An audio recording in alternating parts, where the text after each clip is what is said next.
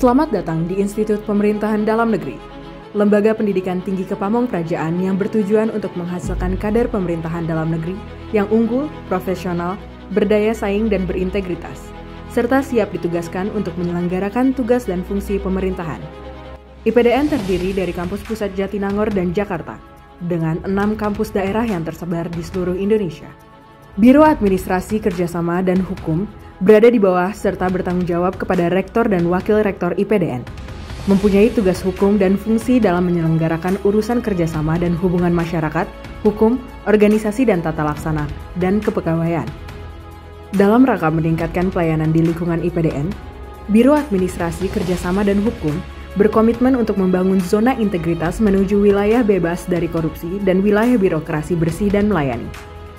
Untuk menunjukkan komitmen tersebut, dilakukan perubahan sesuai dengan Peraturan Menteri Pemberdayaan Aparatur Negara dan Reformasi Birokrasi Nomor 10 Tahun 2019 tentang perubahan atas Peraturan Menteri Pemberdayaan Aparatur Negara dan Reformasi Birokrasi Nomor 52 Tahun 2014 tentang pedoman pembangunan zona integritas menuju WBK dan WBBM di lingkungan instansi pemerintah yang meliputi manajemen perubahan, penataan tata laksana, penataan sistem manajemen sumber daya manusia, penguatan akuntabilitas kinerja, penguatan pengawasan, dan peningkatan kualitas pelayanan publik.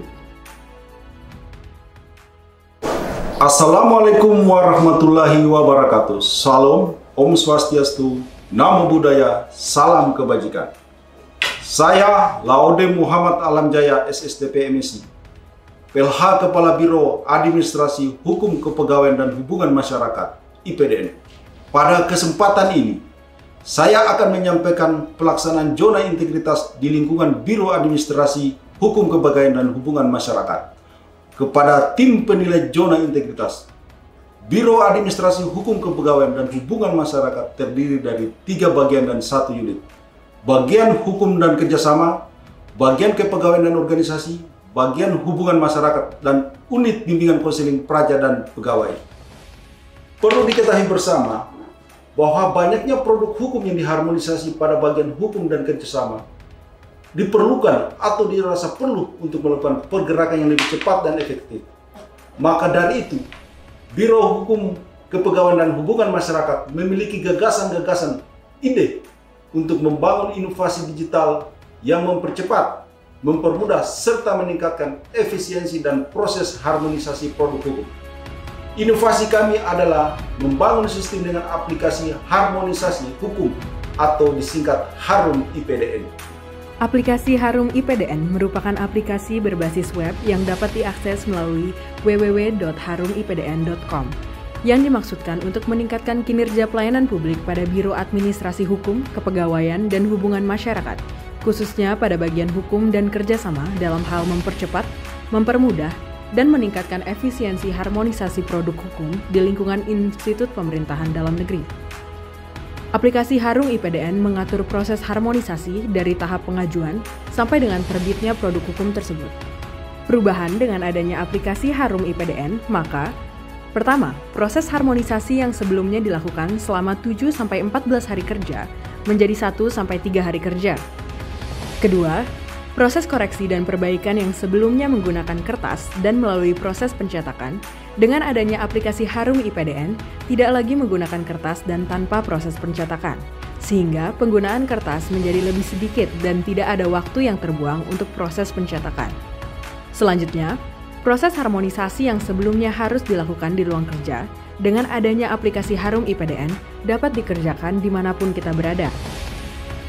Proses penyerahan produk hukum yang sebelumnya harus diantar ke bagian hukum dan kerjasama, dengan adanya aplikasi Harum IPDN dapat dilakukan kapan pun dan di mana pun. Proses koreksi dan perbaikan yang sebelumnya menggunakan kertas dengan adanya aplikasi ini dapat dilakukan melalui aplikasi dalam bentuk PDF, sehingga lebih jelas dan terstruktur. Proses pembagian tugas yang sebelumnya dilakukan secara manual dengan adanya aplikasi Harum IPDN dapat dilakukan melalui fitur yang ada. Dengan aplikasi Harum IPDN, kami memiliki lima langkah strategis dalam membangun zona integritas, yaitu kami berkomitmen untuk terus mendorong tercapainya zona integritas menuju wilayah bebas dari korupsi dan wilayah birokrasi bersih melayani. Kami melakukan interaksi secara aktif kepada pengguna aplikasi Harum IPDN untuk terus meningkatkan kemudahan dalam proses harmonisasi produk hukum. Assalamualaikum warahmatullahi wabarakatuh. Salam, Om Swastiastu, Nama Budaya, Salam Kebajikan. Saya Suhajar Diantoro, Wakil Rektor IPDN, Bidang Hukum, Kerjasama dan Kepegawaian.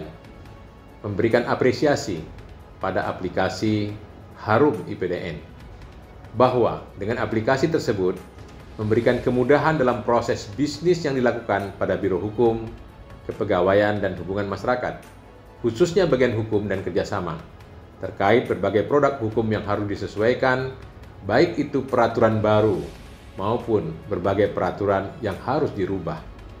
Dengan aplikasi ini, saya melihat bahwa ada proses yang sangat luar biasa, mempercepat target penyelesaian-penyelesaian tanpa mengurangi keharusan yang dilakukan, baik itu dari pemrakarsa maupun dari unit-unit terkait. Saya sekali lagi mengapresiasikan dan mengucapkan terima kasih khususnya pada bagian hukum dan kerjasama umumnya pada Biro Administrasi Hukum, Kepegawaian, dan Hubungan Masyarakat. Wassalamualaikum warahmatullahi wabarakatuh.